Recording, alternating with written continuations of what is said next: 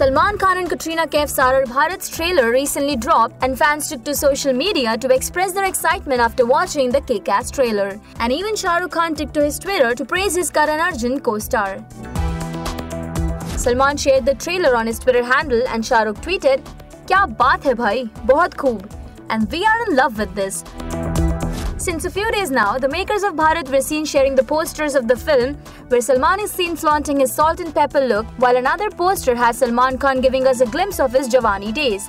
And on this 2019 Eid, Bharat will surely take the box office by storm.